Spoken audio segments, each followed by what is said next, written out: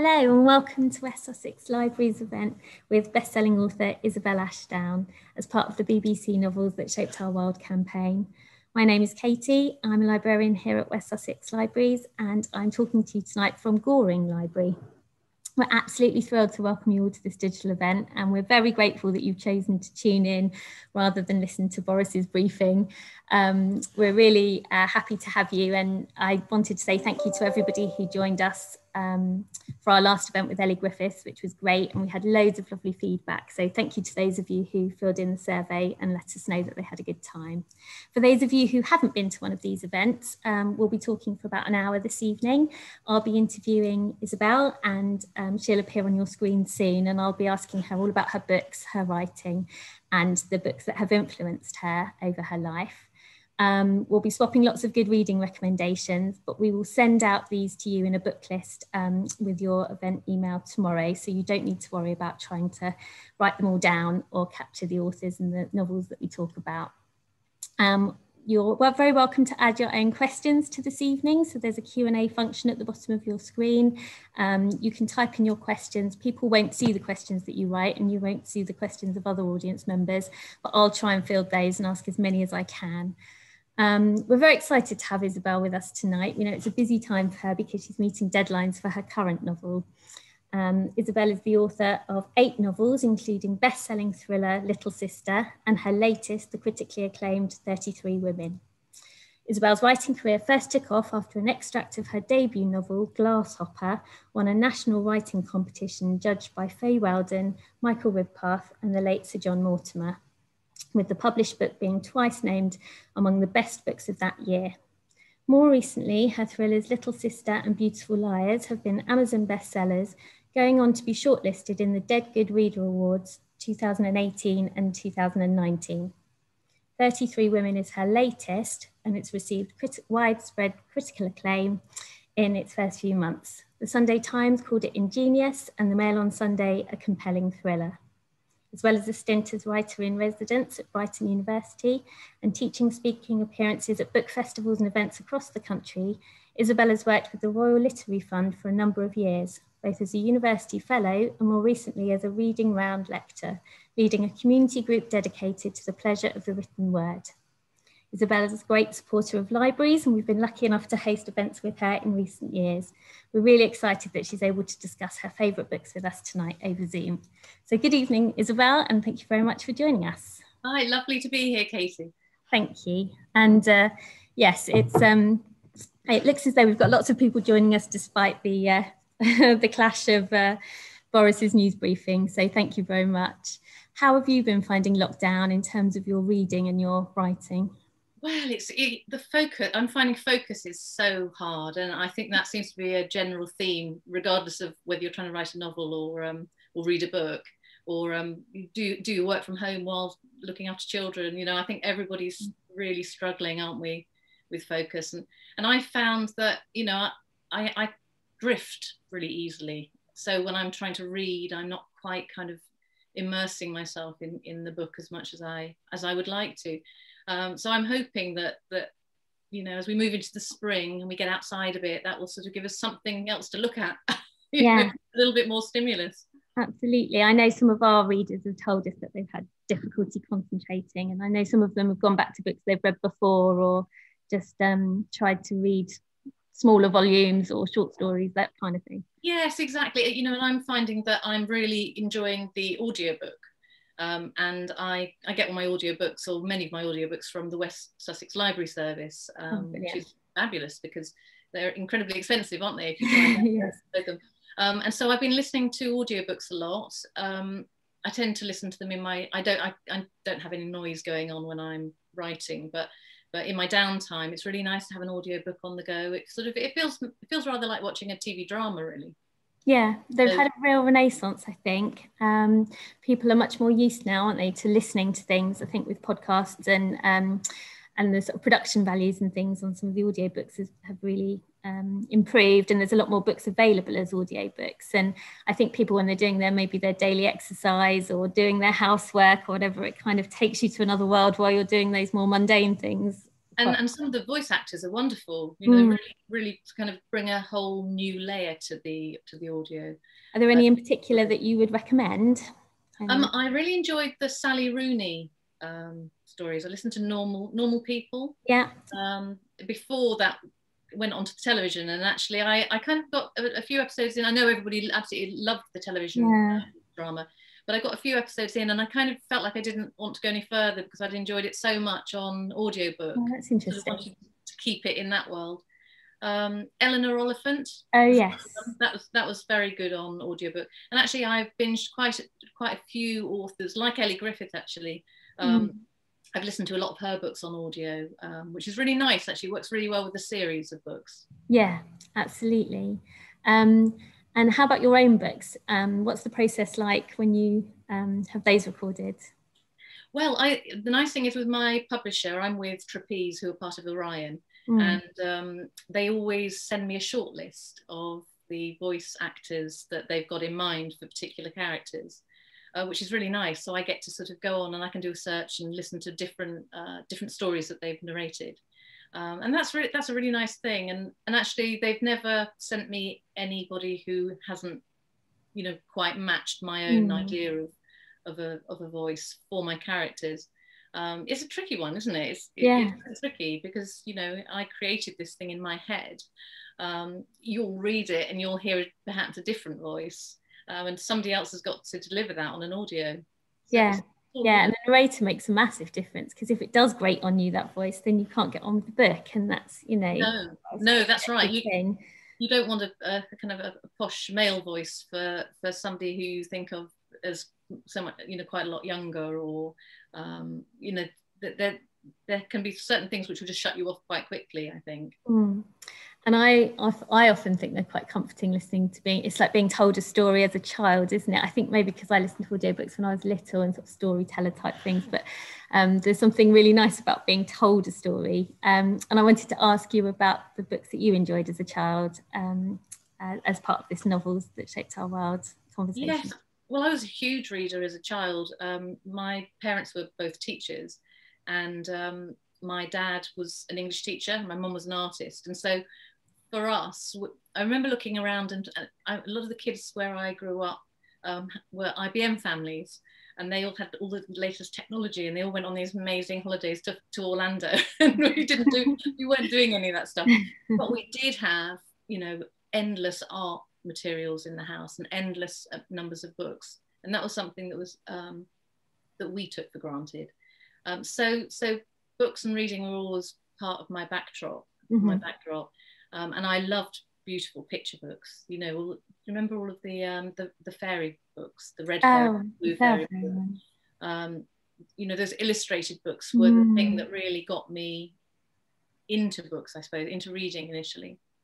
And um, and at primary school, I we had the rainbow reading scheme, and I can remember romping through it because the reward was if you got to the end of the scheme before you left primary school, you then had the run of the library. You could choose whatever you wanted. And so so for me, the you know the goal really was to get through this this reading scheme so I could access, mm. you know, what, what what was available to the to the good readers.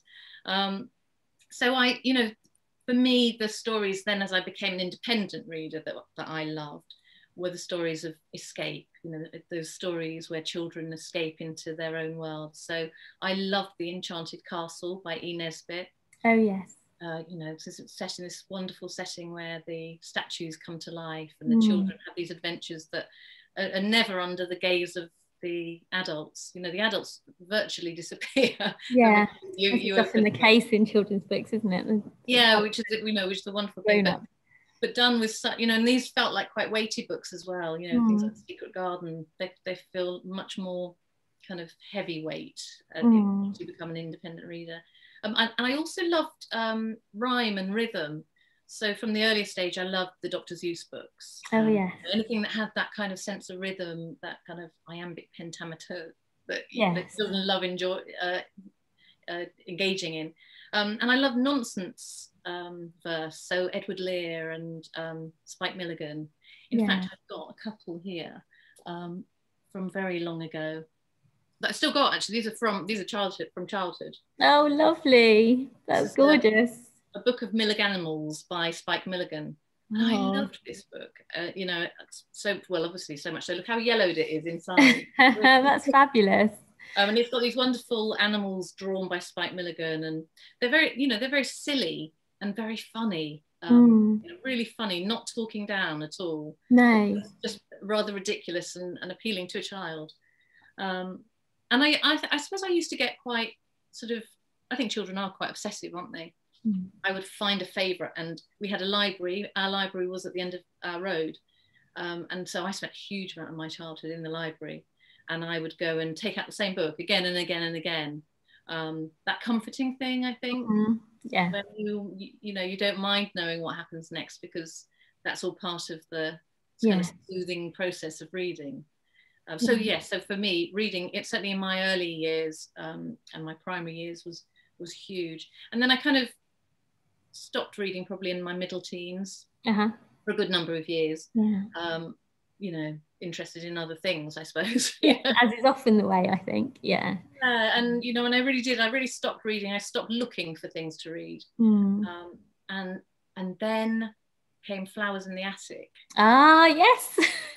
that would have been when I was about fourteen. Yeah. That was, that that was that was probably the book that reignited me with reading, because everyone was reading it. Yes.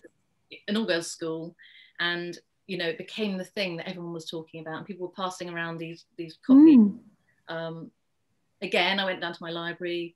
You know, we didn't have much money, did we? I suppose when we were kids, you know, there wasn't so much of that kind of disposable money, and I think things were more expensive. Books were more, mm. books books were treated with more value, so so we continued to pay more for them back then. I think, mm. um, and I went down and I would put my name down for the next instalment of the um, of the book. I can't remember what was it. Was, yeah, it was Andrews one. She had all the um.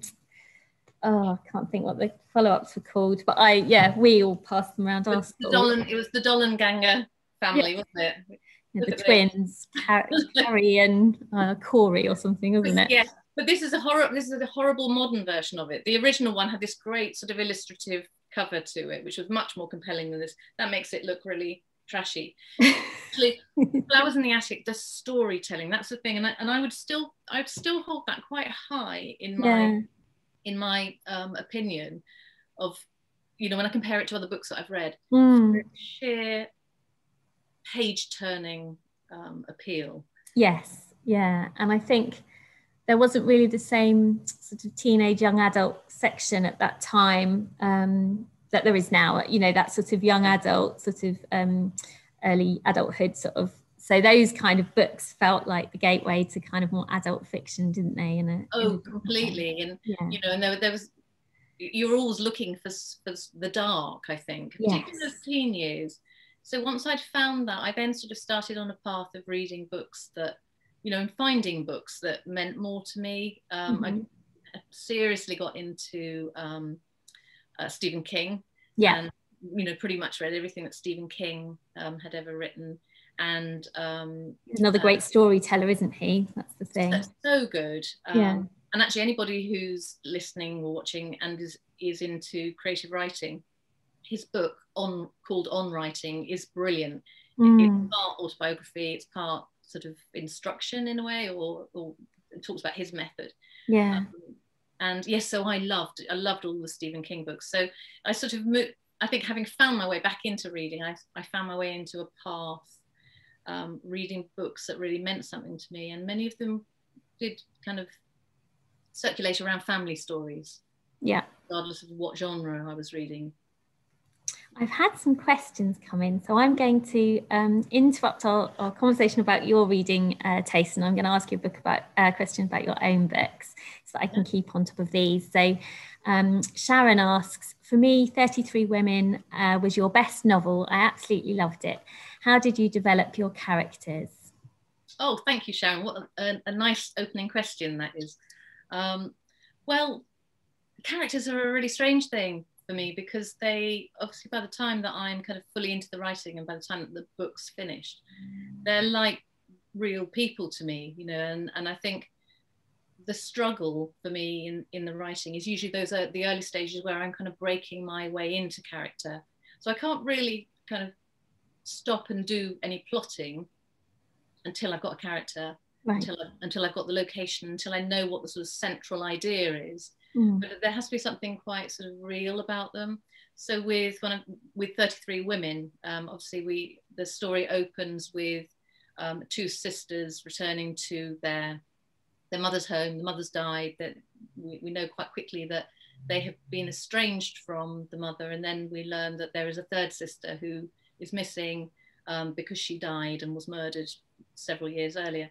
So that's a sort of opening position, I suppose, Mm. for, the, for the present day part of the story. So it was really important to me to inhabit the, those female characters. Um, and, and I guess it's really, there, there's no sort of method to it as much as there is, you know, just writing it Mm. and thinking about them all the time.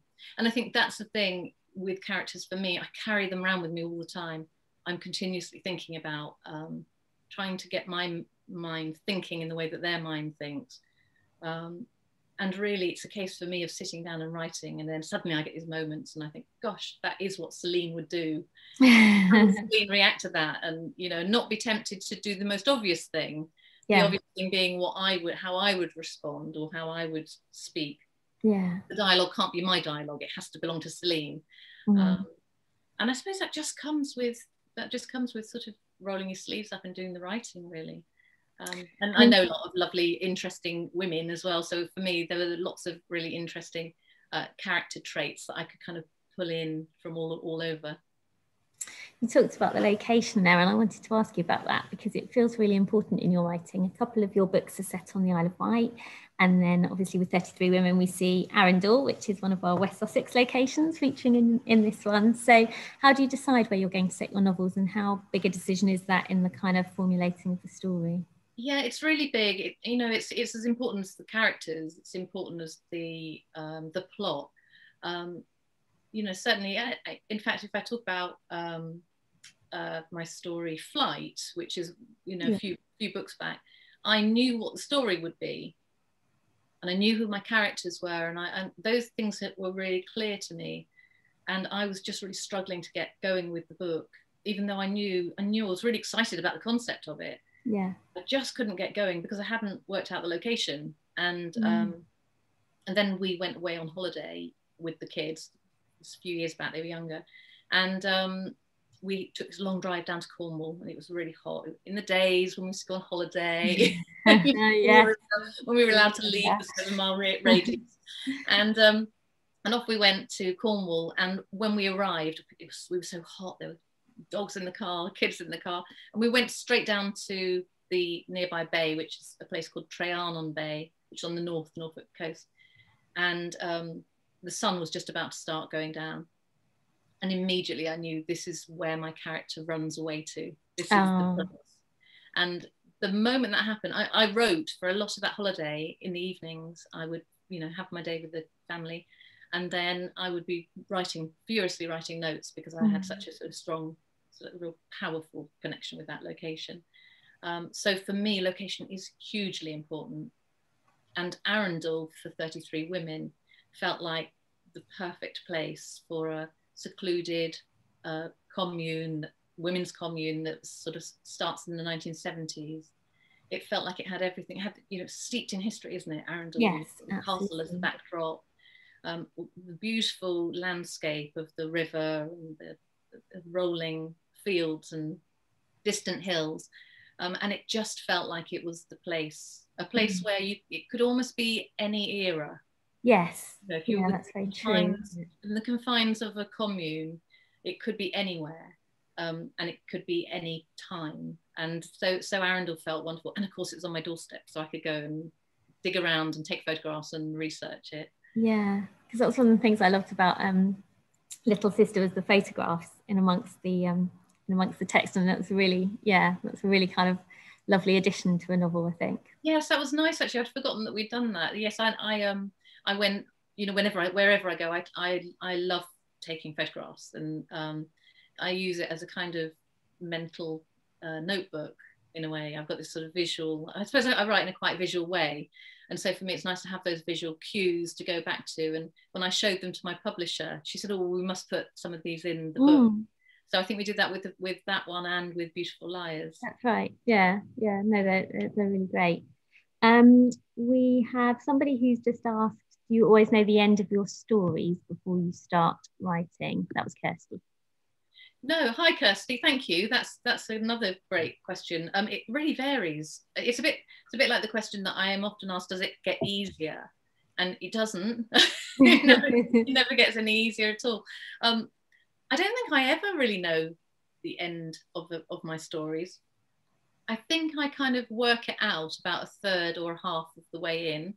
Um, I have to I have to plot it at a certain point. So I've often written about a quarter or a third before I start properly laying the plot down. Um, and I'm I quite often change what I, what how the end how it ends. I quite often right. kind of not necessarily change what happens, but change the point at which I end it, um, mm. because that's quite a big decision in itself. When do you stop t- telling the ending? How yeah. much do you leave open? How much do you not tell them? you know there are some readers and you, of course you can't please everybody because there are some readers who want everything tied up mm. and there are others that find it really unsatisfying if they're not left with a few um, questions to mull over on so um, mm.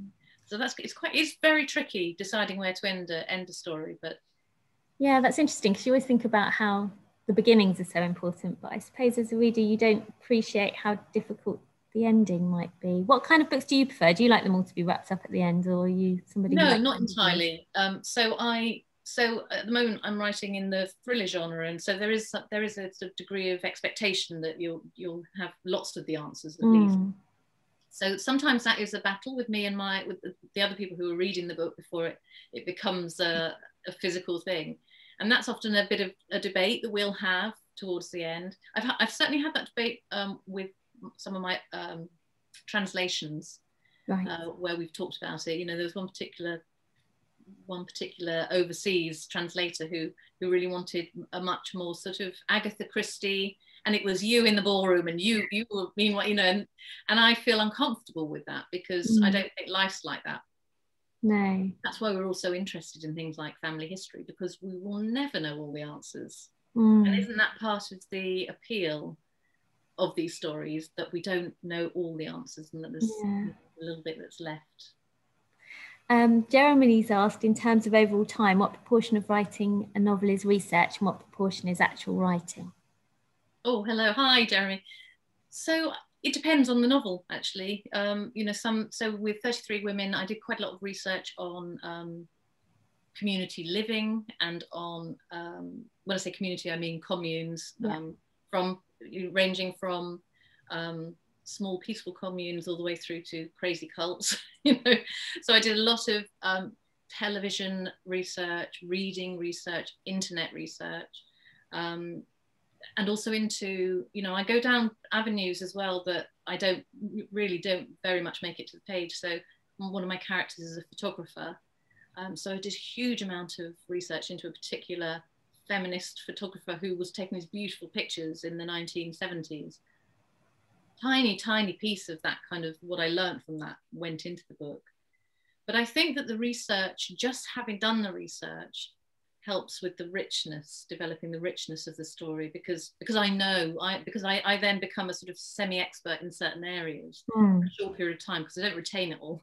Um, but for that short period of time, I, I feel like I'm really writing that character that was a photographer and the story was set in set starts in the 70s you know i could really inhabit it so i always say that with a book if i'm writing a book a year i'm probably spending only six months of it is the writing phase right. and, and, six months of it is is research and then rewriting and editing um, you know those two things are as important as actually getting the words down so so and i love research the only danger is I get really distracted, particularly if I'm researching online, because I'll end up finding all sorts of other things and thinking of all sorts of other books that I want to write now. yeah, I can imagine falling down rabbit holes and trying yeah. to uh, remind yourself why you're there, what you're. Yes. But actually, I, you know, I've got this saying. I, in fact, my kids are fed up with me saying it because I'm always telling them it. Nothing's wasted. Mm. Every little discovery, every little conversation you have, every little bit of writing that I do that's rubbish, but there's a tiny little phrase in it that's useful. you know nothing's wasted so it's those those rabbit holes sometimes spring into life two years down the line yeah, um, yeah interesting yeah. um, we run a, an annual reading challenge at different um, parts of our uh, different parts of the county. Um, we've been doing one in Worthing and Adur this year, and we do different um, prompts each month. So read a this, read you know, read a book set at a certain time, or read a debut novel, or read a prize winner. And we have included read a short story collection over recent years, and that seems to be the the month that people struggle with the most. And our readers tell us that they um, they don't necessarily enjoy that one as much. So um, I wondered if you have any collections that you could recommend that might convert yeah. skeptical readers. yeah, it, it's a funny thing with the short story. In the UK, we're not, we don't have as developed a market for short stories. You know, in, in America, the short story is really respected. Mm. And not only is it respected, but people pay authors to write short stories and people will pay for a short story collection here it's very difficult to make any money as a writer out of yeah. stories, and, and that will have a have an impact on the amount that's being produced. So it's a sort of ever ever turning circle, really. But I'm I'm really interested in the short story. I don't write many myself. Mm. I, I, have done, but um, I just don't have time at the moment. If I had more time in between the novels, I would be writing more short stories. Um, in fact, when I did a when I was studying at university as a mature student, I did my dissertation on the short story Ah. I found it really interesting that the, the, you know, it's incredible how within a really good short story, you can have a whole world in a very short span, and and that's what the best short stories do. They tell mm. a story within, you know, with a resolution and with with something that you can take away. It's like a sort of little moment in time to take away. Feel like they're like a photograph. Yeah. You know, really, really sort of rewarding photograph. Um, and I now run this group um, online for the Royal Literary Fund, in which each week we look at a short story and we look at a poem. And it's wonderful because it means that I'm having to read lots of short story collections because I'm, I'm needing to find new material to share with them. Um, yeah. Um, so I've got all sorts. I'm going to give you a few recommendations. Lovely, thank you. I've, I've got so many more recommendations than these, but but for people who are struggling to get into the short story, mm-hmm. I think sometimes they're very literary and yes. that can be off-putting. Um, this one, it was wonderful. Look at that cover. Oh, it's great. I don't know that book. No, so it's called, this one is called Cowboys Are My Weakness, and it's by an American writer called Pam Houston. And her, this, this short story collection, somebody recommended it to me on the Royal Literary Fund forum. And it's just so real. And she writes about that kind of area of America, or the areas of America where cowboys were a real thing, you know, and, and they're about love and they're about loss. The stories in here, I've read a few stories in here and they are wonderful. And, um, and, and I think at this time where we are really struggling with our concentration. Yeah.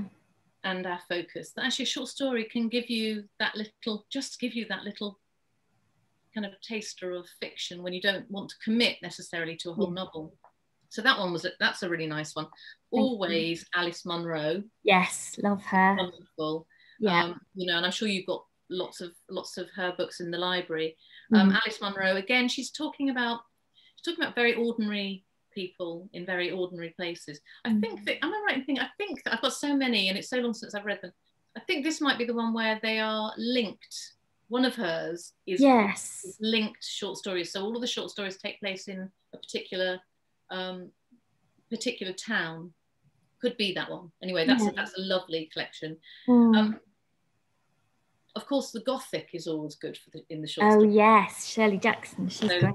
Yeah. yeah. Shirley Jackson. Are wonderful. And again, yeah. if you're used to reading in a different genre, reading something Gothic um, mm. or reading something that you wouldn't normally pick up, I always think is a, a wonderful thing. It's a bit like how we like to read uh, literary fiction, but we also like to read a magazine, or you know, there, there's that. We, we, don't have to only. I, I, meet quite a lot of people who say I only read crime fiction. Yeah. consider reading anything else, and I think, well, actually, you know, there are mysteries in all types of books. Mm. It's the hmm. publishers who decide what the genre is, really. Mm, yes. Um, yeah. And and so actually, I don't think as readers we should shut ourselves off from experiencing anything new. Mm. And particularly that whole high low kind of distinction, I think, is especially um, yes. limiting, isn't it? Yeah, it really is because because actually the publisher decides what ultimately you know what kind of look you're going to end up with. Yeah, the look may not necessarily match what's beyond the cover. No. Um, I've also included this one. This isn't short stories. This is poetry. Um, oh yeah, yeah, that's a great collection. Yeah, these collection. This particular one is only came out last year. This is the Staying Human one. I think it's third or fourth in the in the collection. It's such a weighty, big collection of poetry. Um, amazingly good value. I thought that was twelve ninety nine for hundreds and hundreds of poems. Yeah. Beautiful. This particular one, I, I was really interesting. I went to the the lovely bookshop, the book in Arundel, actually. Mm. Um, you know, when, when I could, that tiny little gap in the middle. And I went in and visited them um, and I bought this there. And but in this particular book, there are all sorts of um, poems, you know, that have been written a long time ago, but there's also a section of poems that have been written since the lockdown, since pandemic. Oh.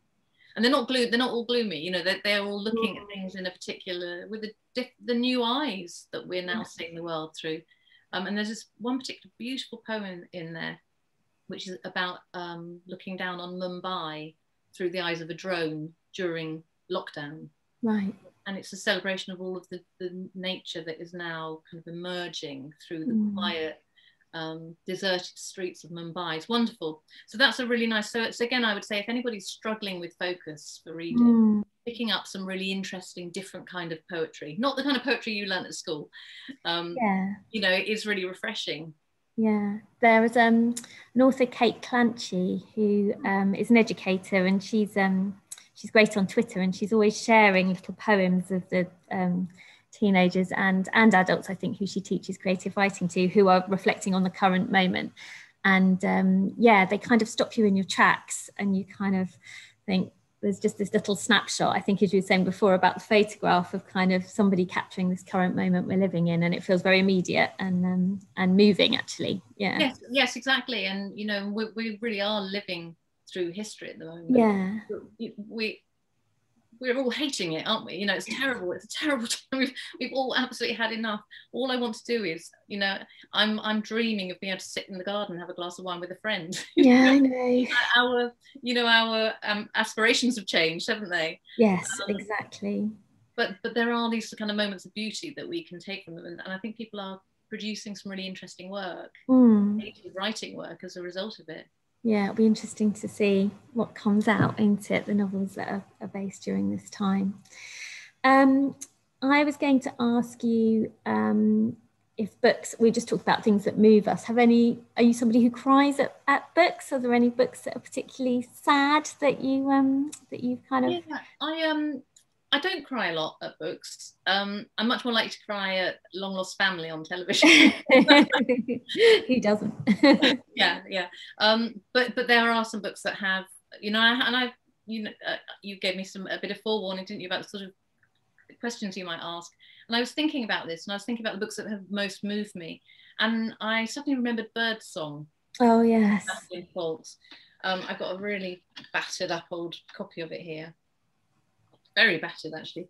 Um, it looks like I might have been by a pool or something reading that. Oh, to be by a pool. Definitely, um, yeah, one of the original covers. Yes, it, this is this is a beautiful book, and um, it's for anyone who doesn't know, it's a love story set during the First World War. So it's very much sort of about the war, and it's about love, and it's about human connections and the importance of them. And it, it taught me an enormous amount. It made me realize, you know, how shoddy my history was, um, you know, about that particular era is, you know, incredibly important era um, in our history, in our world history. Um, so I learned a lot from it, but I don't mean that it felt like I was reading a history book. I felt like I was utterly immersed in yeah. that period. Um, and yeah, I, I absolutely did cry um, mm. reading this one. I wept. Um, and it's wonderful and it's beautiful. And whilst there is some kind of harrowing passages in here, it's it's worth yeah. it's worth feeling those things because you know it's all dark it's all light and shade isn't it yes you know we want to read about the love story we want to read about the good things but actually mm. they they only have so much value when we're reading about the dark too. Mm. So that that you know, if you haven't read that, it's wonderful. It's wonderful. Definitely a book that stays with you, I think, Birdsong, isn't it? It's It really a long, long time since I've read it, but I remember it really clearly, and I don't always remember books so No. well. no, there are certain books that really imprint on you. And then the other one which which uh, had that kind of effect on me was this one here. Can you see this? Oh, I've not read that. The longest memory. The Longest Memory. It's a very tiny little book. So unlike Birdsong, this is actually a tiny book. This is by um, Fred D'Aguiar, and it's about it. It's it's very. It's a sort of when you look inside it, it looks like there's a sort of lightness to Ah, it. yeah. but it's um it tells the story of several different it gives it, it speaks through several different voices um, and it's set on an 18th century virginia plantation so it's very much a slave narrative um, and it's beautiful and uh, Fred D'Aguiar writes about this subject you know the, the the black history with you know just such a beautiful voice. It's poetic um, but also you know tragic. Again again you know so much to be learnt from reading a book like this but also so much on an emotional level so much to so much to experience you know really rich read. So that i highly recommend that. Thank you. That's a great recommendation.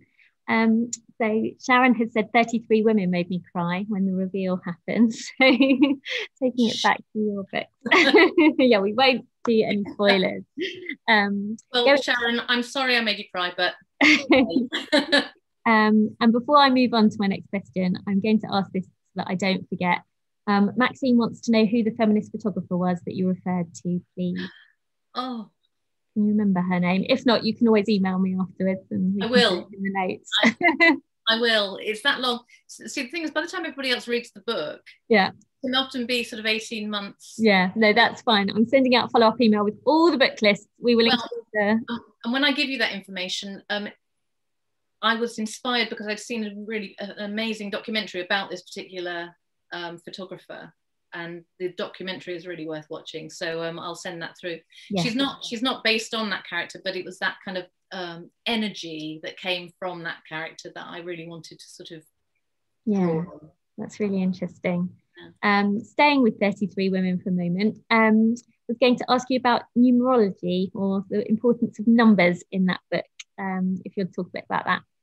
Yes, well, well, actually, and the the numer- numerology theme in the book was very much one of those wonderful discoveries as I as I kind of got into writing the book. So this is what I mean when I say I kind of plot my books, but with with the caveat that I can do whatever I want with that plot. You know, I, don't, I don't have to stick with it. So don't, don't tell my publishers; they're buying it based on what I tell them I'm going to do.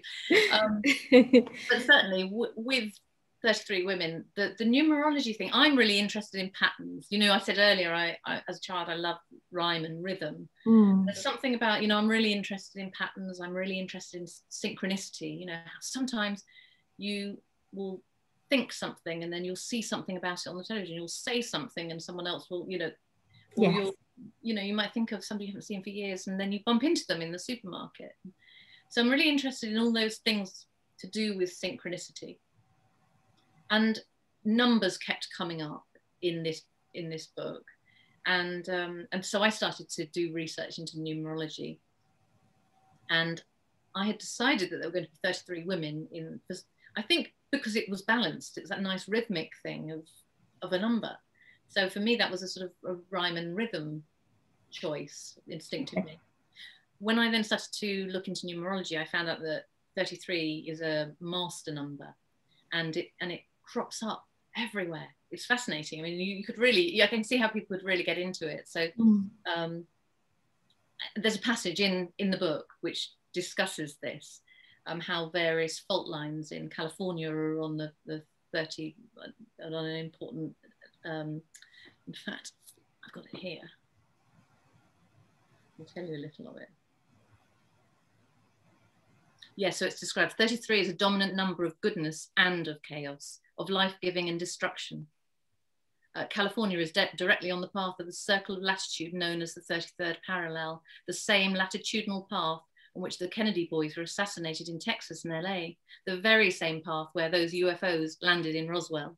And so there's this, this whole kind of story narrative around 33 that goes back you know jesus was 33 when he died in the bible you know so there are all these these kind of echoes of of numbers being important and so i got really hooked into it you know it became, became really compelling to me and then the, the idea that based on numerology the limit for how many people would ever enter this um, women's community the limit would always be 33 because that was a master number um, and not only would the limit be 33, but they must always maintain 33. So if yeah. somebody left, the door opened for somebody else to come come in. And, um, and so for me, that became a really strong spine, I suppose, running through the story. Um, and so quickly, I decided I wanted the book to be called 33 Women. And when we got to the end part of me writing it, mm. I had a change of editor, or had you know somebody was on maternity leave, somebody else had left, and and then the next person who looked at it said, "Oh, we think the name should change," and I sort of felt rather sad about that. And we talked about the reasons, and I was kind of I was kind of okay with it, but. Um, and then my my original editor, the brilliant Sam Eades at Trapeze, um, came back from her maternity leave and she she got talking with the, the team there and they said, why isn't it called 33 women? and I said, I'd love it to be. So we reinstated it and um, you know, as a result, that's that's what it what it is now. And, and, also I think, you know, don't you think this thing I talk about balance, don't you think on the cover, 33 women, there's a sort of balance to it mm-hmm. that, that, yeah. I would feel is, you know, as I say, I, I'm, I'm quite a visual person. That's really important to me. we had somebody ask actually at the beginning, I haven't had a chance to ask you, was how much influence do you get in the design of your front cover? That was Christine asked that. So yeah, oh yes, time to ask it's interesting, you. isn't it, Christine? Because it's um, you know, so many covers, as I say, don't necessarily tell the story that's that's inside. I'm really lucky because my editor always um, involves me at the briefing stage of, of any book. So so I do get influence. So if I didn't like a cover, it wouldn't go out with that cover. That said, they are the experts. You know, they know how they're going to be marketing this book, and they know who they really who they've got to try and sell it to. You yeah. know, they've got to try and sell it to uh, the supermarkets and Waterstones, and you know. Yeah. So, so it's a balance between me kind of getting what I want for it, and them knowing what is is working out there. Um, so, but that's really nice for me because I love. I used to work um, on the product product and marketing side of things at the Body Shop for years. So I was always working with product and and had some kind of influence in sure. um, the products that I was working on. So I'm a bit of a control freak, and I think my uh, my certainly my agent and editor would would go along with that. So I do like to have some um, input, but I also know that there are other people who are experts. So you know, with this particular one, for example, um, you know, the, the woman who was in the picture uh, with the first submission that I didn't like, didn't, you know, she didn't quite represent what I thought it should be. This was a different color. You know, I just, uh, I wanted this to be more of a sunset because sunset is quite an important theme in, or uh, there's quite a lot of, there's quite a lot of sunset within this. Um, and so, you know, there's a lot of it is tweaking, but, mm. you know, you end up with something, I ended up with something that I felt like I really loved and felt proud of. Brilliant, thank you. Um, I wanted to ask you about the way that you write female relationships so brilliantly. So there's lots of sisters in your novels and, and close friendships. Um, and I wondered if you had any novels that you could recommend that feature these kind of relationships or yeah. tell us about your writing of them. I love writing, you know, I love writing all my characters. Um, I think female relationships are really interesting. I've got a sister people always say, "Oh, have you got a sister?" you know, with little little sister was also about a tricky yes. relationship, and um, I do have a little sister, and uh, in fact, she is the children's writer and illustrator Rebecca Ashdown, um, and she, we were always incredibly close as children. We've got th- I'm three years older than her, and um, we continued to be in adult adult life. We try every year, up until this year, we had for the last five or six years been going and doing a week's writing retreat together. And, oh, lovely. Yeah, and we, you know, we're we're very close, um, but we also, you know, our families are complex in all sorts of all sorts of ways. You know, like most people have got complex yeah. families. Um, and so we, we between us are both quite interested in those relationships I also um, I was I answered this for somebody in an interview recently. I realised that my we we didn't have sister relationships around us when we were growing up. So my mother and father, neither of them had a sister, so there was no aunt for us. You know, a, yeah. sibling aunt, um, and most of my friends didn't have um, sisters, and so so we were sort of we always felt like we were quite special and tight because we mm. had that. We felt kind of I think we always felt really lucky to have that. So being the kind of writer that I am, I'm interested in when it's not like that. You know, when it's when it's like, you know, isn't that the worst thing? You know, if you're betrayed by your sister, mm. isn't that the worst kind of betrayal? If your sister is against you, what does that feel like? What does that do to families? What does that do to communities? And and so I'm really interested. So quite often I'm really interested in things that I I'm not suffering with yeah. myself um, as much as I am interested in exploring, you know, the real parts of me. So in terms of other books that I've enjoyed mm. with the sister relationship, this is the one that I talked about um, when I came on your channel not so long ago. Oh yes, yeah. My sister, the serial killer. Um, I loved this book. It was a bit of a runaway sensation last year, wasn't it? Yes, yes and it's wonderful. I mean, you know, what a title! What a bold title! Yeah, I mean, an accurate title. Um, and in this particular book, it's told by one sister, and her sister is a psychopath, really. But the hu- it's wonderfully humorous. It's a really witty. I, don't. I could. I'm kind of loath to call it a crime. Yes. Really, because it's it's sort of something of, of its own. Um, it was really pacey. I think it was a debut, isn't it? It was yes, it is wonderfully, wonderfully accomplished debut. Mm pacey, funny, and um, you know the sister relationship in it is great. It's so yeah. real. Mm. Feels very original, doesn't it? Um, very, very original. Um, hard to define. yeah. So I love that one. Um, now I did have. What else did I have? Um, I did have something else. I did make a note because I thought I'm going to forget. Forget it. Oh yes, of course. I captured the castle. Oh yeah. Dodie Smith, you know, wonderful uh, sister relationship in there with Rose and Cassandra. Yeah. So that, that, that relationship was again on a much quieter level, obviously, than the, the last book I showed you. Just that very quiet thing that you have with siblings, really, mm. where you can exist alongside each other and you know your small worlds become enormously important.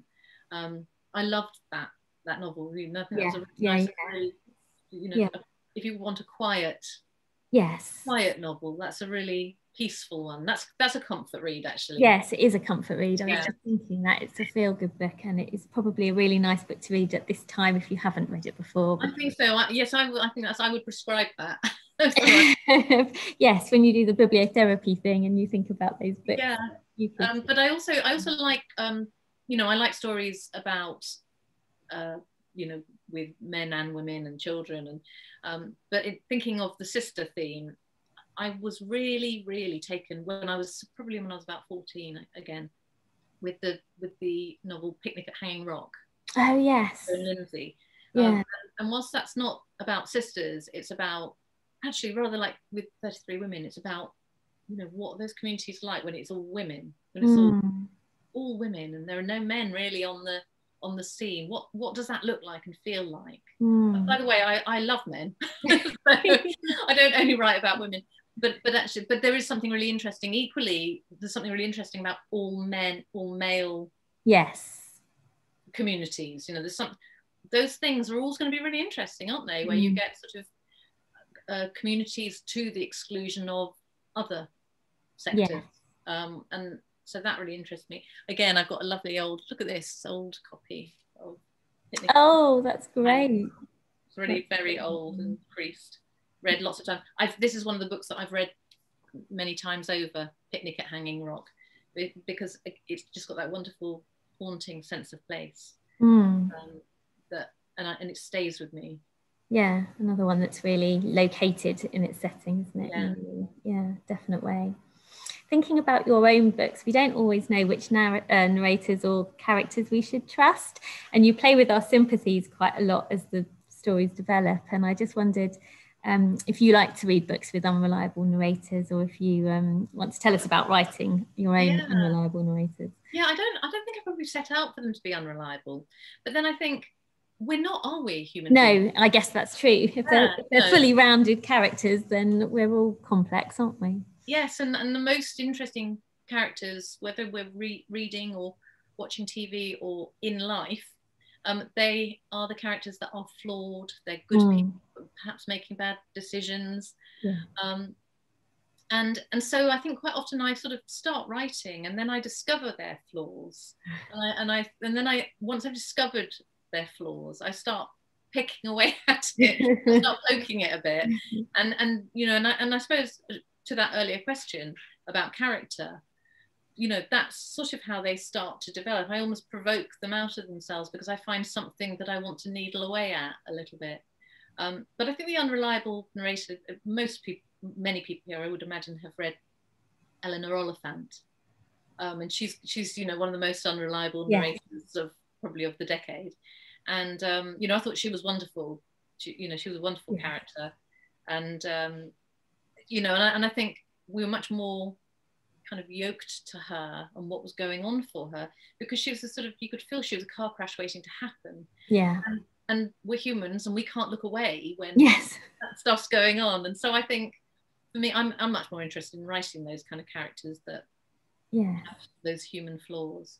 I don't think i'd be very good at writing kind of straight love stories you know or, or you know prescriptive love story. They would also mm. that sort of darker element there to, to for it to be for me to be interested enough to write it.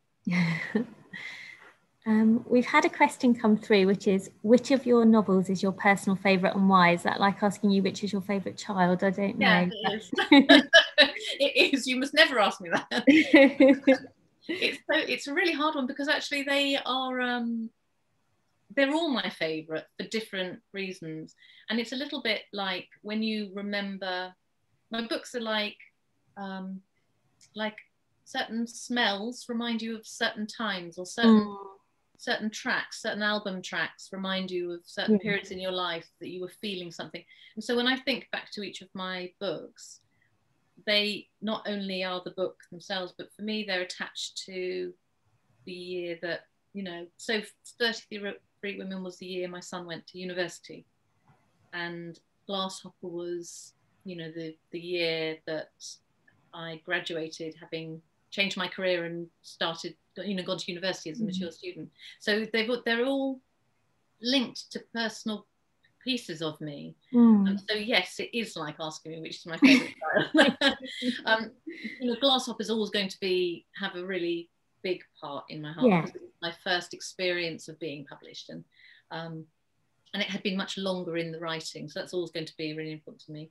Little Sister is going to always be important to me because it's my first book in the psychological thriller genre, and mm. that was really exciting writing that, and it was really exciting, kind of being reviewed by different people with a different agenda. That was really nice. It felt like a sort of exciting change, like a change of like a change of job almost. Mm. Um, so so I I've loved them all, um, but in really different ways. Thank is you. That, is that an answer? Yes, thank you uh, for the uh, Sharon. I think asked that question, so thank you. Um, and uh, Sue has asked, what advice do you wish you'd been given when you first started writing? Gosh, I don't, I don't know. Um, don't expect to make any money from it for a good few years. that's, that's, the reality of it. Um, you know, I'm on my I'm I'm on my ninth i'm writing my ninth book at the moment and i'm now a full-time writer and have been for for a couple of years but but bearing in mind that i've been writing now for sort of 15 years if you think from the time that i started writing it you know it took, it took a good decade before i was making a living from writing so that's quite an important one. Would i have given up my good career beforehand? Probably still would have done actually because you know i really needed to be doing something more creative and, and writing stories.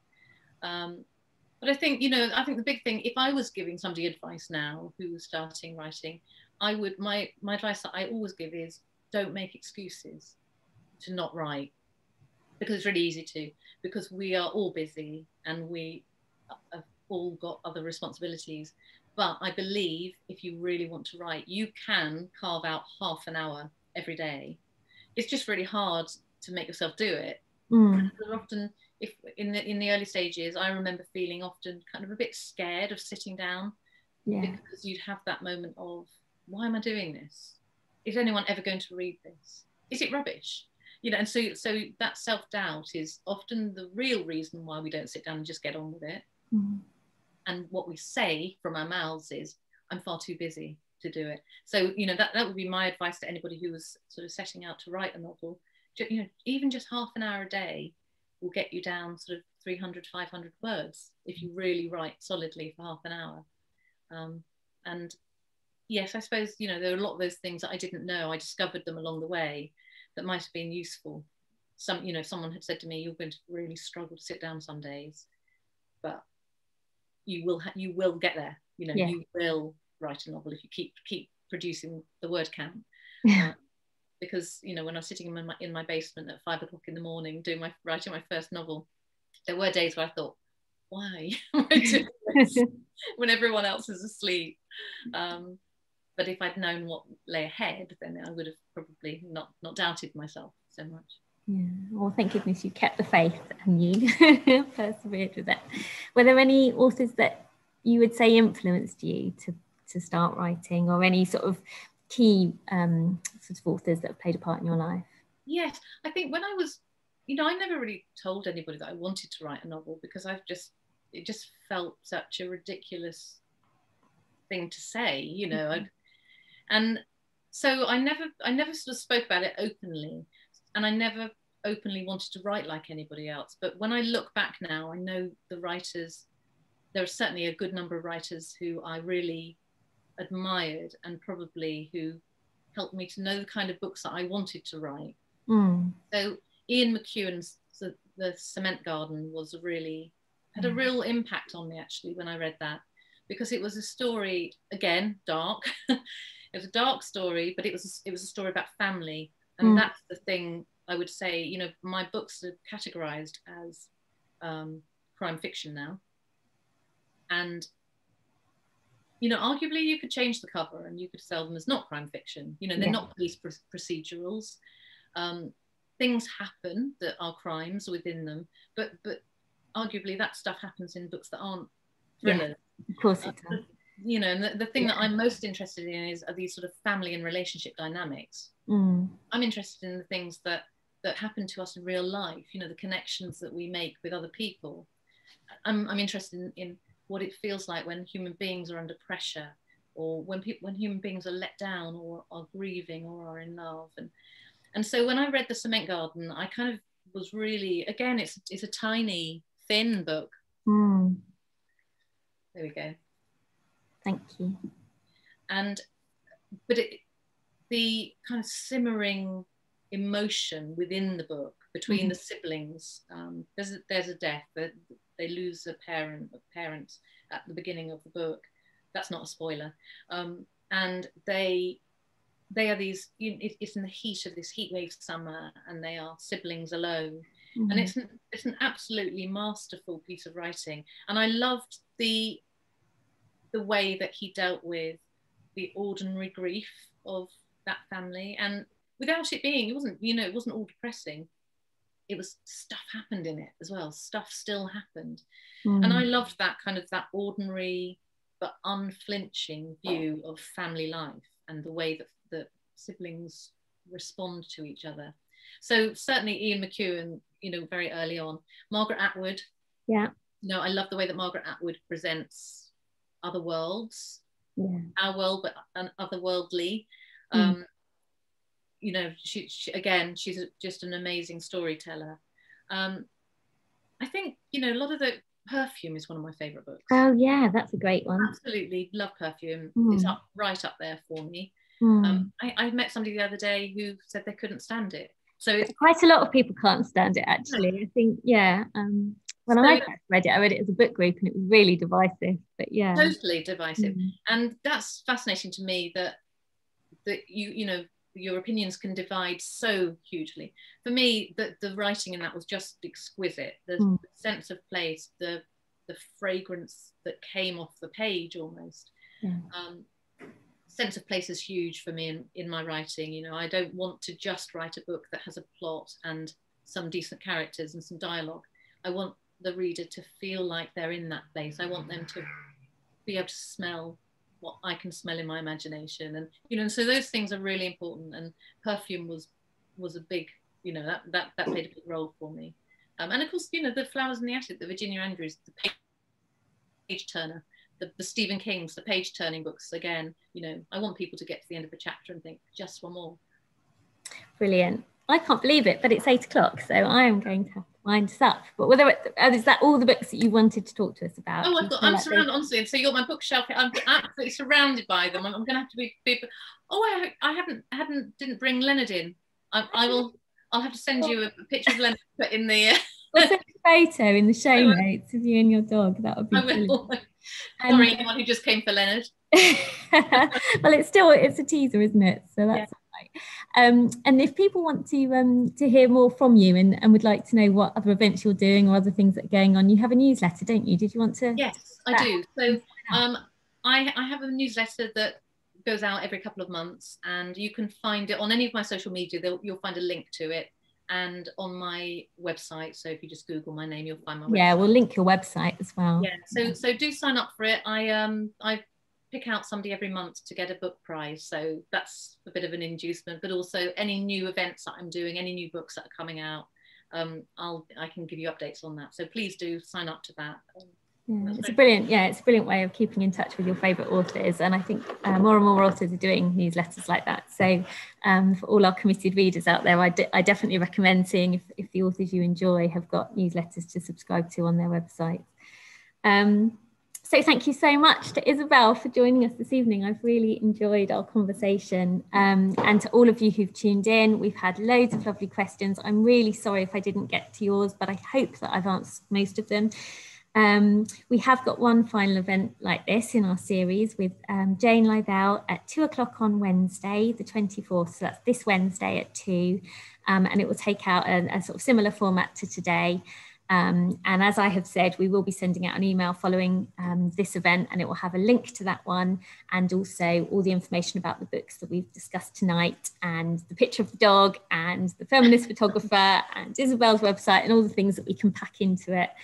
Um, and just a reminder, really, that while um, libraries still aren't open for browsing, we've got a select and collect service at our doors so that you can either reserve specific titles with us on our website and um, collect them at the door, or you can use our staff select service, which um, allows expert staff to choose a selection of books in a certain genre or based on your taste. So a kind of personal shopping service for you um, if you haven't used that yet. Um, and if you've managed to tune in without being a member of West Sussex Libraries, then you can do that online and it's quick and easy to do. Um, and we've also got a virtual reading group on Facebook, which I will also pop in the follow up email. And I said at the beginning that lots of you um, did fill in the survey for us after the Elly Griffiths event. So there will be another short survey, and it would be brilliant to hear um, what you've thought of this evening and if there's any way in which we can improve what we do. It really helps us to put these kind of events on. So that's all I needed to say. There's lots of people saying in the chat that they've had a lovely time, much better than Boris. well, I should hope so. Uh, but um, a lovely, enjoyable, informative evening. Feels like another relaxing chat between friends. So that's really lovely. And I hope that, um, yeah, everybody has enjoyed tonight. Thank you, Isabel. I've enjoyed it thoroughly. Thank you very much. And thanks for all the brilliant questions yes, um, we have the best readers and uh, and they ask the, the, best questions. So thank you very much and um, have a good rest of your evening. Take care, everybody, and we'll see you hopefully on Wednesday. Thank you. Bye bye. Thanks, Isabel.